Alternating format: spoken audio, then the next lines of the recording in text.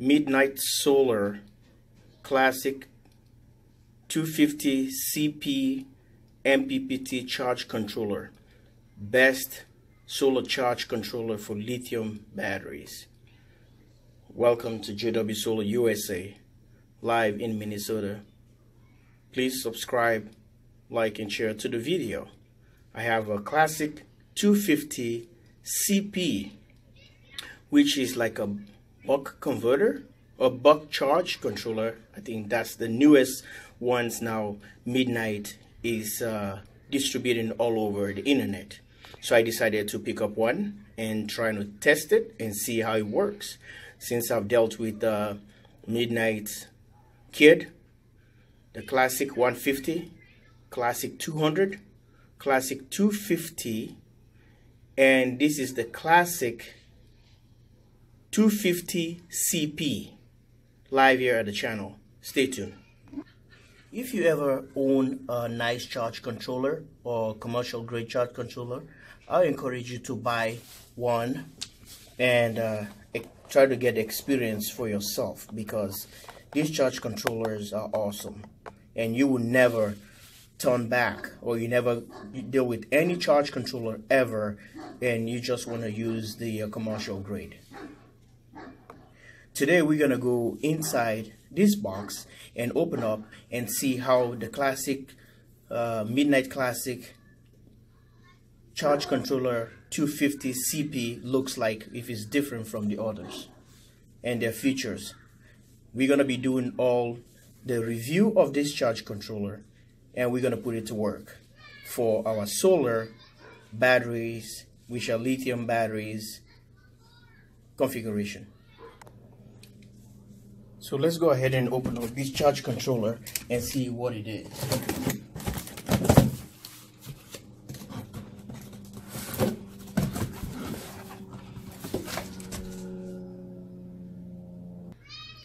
So this is how it looks like.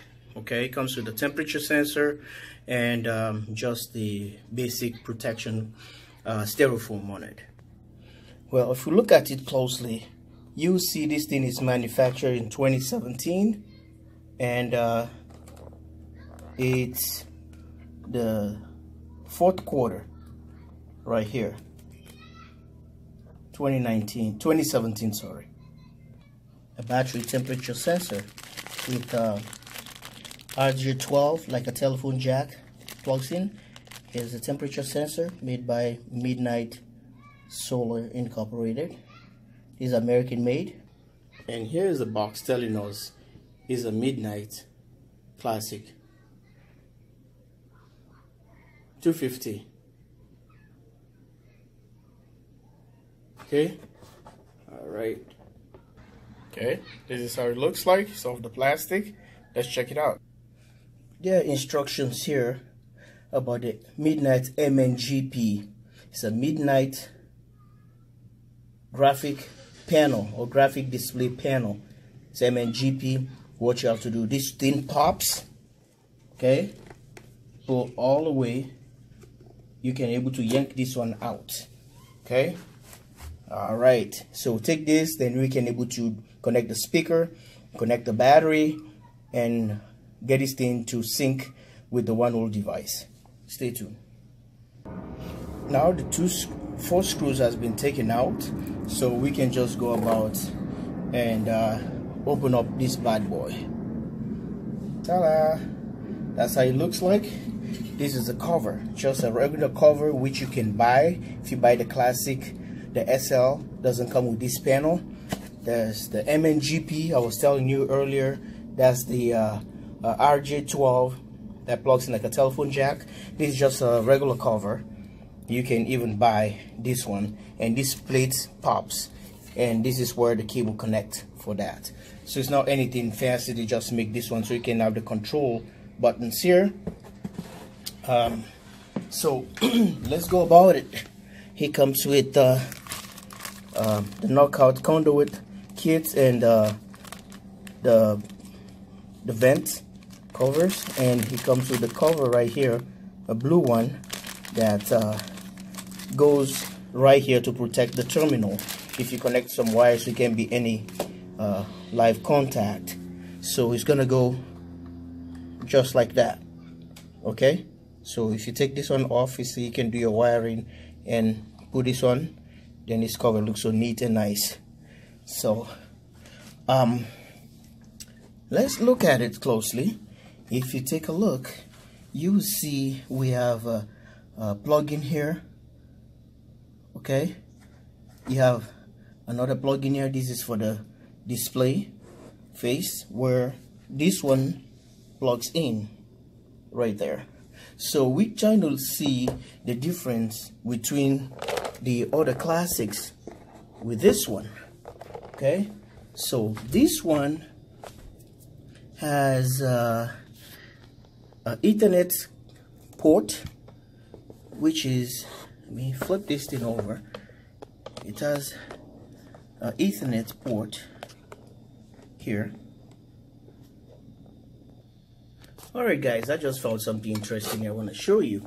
I don't know. I don't never remember seeing this but um, the Midnite look at the specifications there. Let me zoom this properly sorry for the shake and see what it says there pretty interesting it says uh, the Midnite Solar Classics 250 MPPT Solar Wind Hydro Buck Buck Boost Charge Controller. So this is different. I've never seen that with the other ones. It's a Buck Boost. So it's like a Buck controller. Okay, a Buck Boost uh, charge controller, which is uh, um, the other ones don't even have a name like that. But look at the, the other interesting stuff. Okay, I think I went too much zooming. Uh, okay, if you look at it closely, use a 62 amps. Okay, 262 amps, a 250 volt. All right? And it goes it can support up to 93 volt battery bank. A battery a battery bank is going to be a maximum battery charge voltage up to about 93 volt which the classic 250 goes up to um, I think it's 72 if I can believe I, don't know. It, correct me if I'm wrong but I, I, I don't remember uh, seeing that. I have one um, on the wall but the way it's mounted I can't able to um, go back and take it off and see. Guys this is pretty interesting. Yeah. And uh, it has this is what I ordered. And uh, it looks like according to the specs they told me or what I read I saw it was supposed to have uh, for the Midnite Whiz Bang Junior. Okay, maybe they send me a um, uh, 250, uh, 250 not the um, the 250 uh, CP. So it doesn't it don't supposed to have the aux aux 2 aux 1 and Okay, I see. I think it's right. It doesn't have, not supposed to have the follow me mode, which here, the other ones have one, two, and three to do a master, a slave, you know, follow me mode. So it's only one. This is the one going to the battery temperature sensor. Oh, sorry, for the display panel, the MNGP. And here is for the battery temperature sensor okay? And here is the battery terminals. And it's even have um, that's the thing that uh, puzzled me because they're supposed to have one of these. For uh, diversion load if you want to use a clipper uh, Midnite solar clippers. Well it has uh, class um, aux 1 aux 2 jumpers here and I can see on the transformers here it says 250 uh, DC NAF I've never seen that before. And um, it's just kind of a little bit different.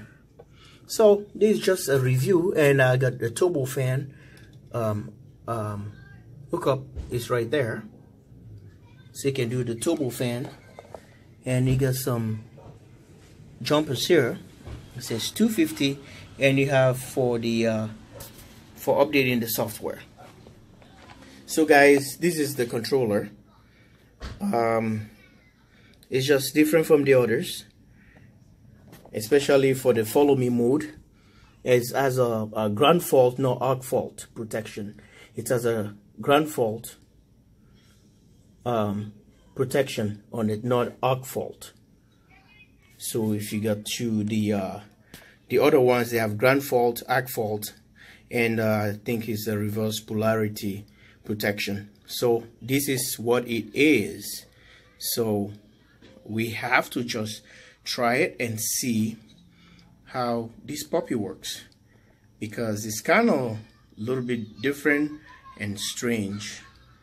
But um, I know a lot of people out there probably already start using them. So I just decided to share with you guys so that you guys can see or feel the experience with the different charge controllers. You can tell definitely it's three of these um, plugs supposed to be here. The um, MNGP display control panel, graphic panel, and you have the uh, master and the follow me and the slave supposed to be here, but it's not here. Okay? Alright, take care. Bye bye. Subscribe and share to the channel.